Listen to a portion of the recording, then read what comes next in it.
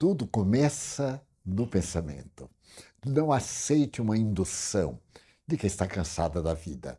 De que vida? Deve estar cansada da monotonia, da repetição de determinados fatos, de uma imprensa que nos perturba mais do que nos ajuda.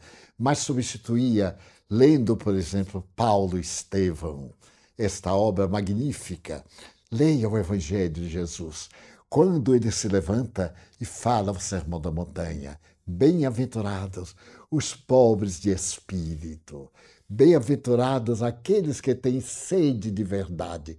Olha que coisa linda.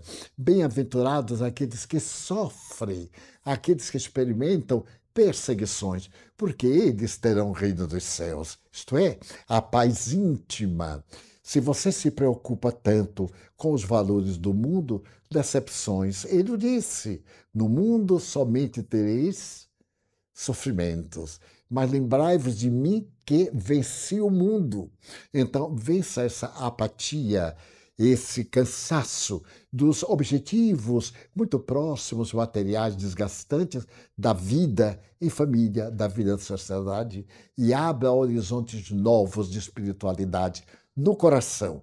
E com esse sol novo, você vai dominar o caminho e vai sentir uma alegria imensa de viver.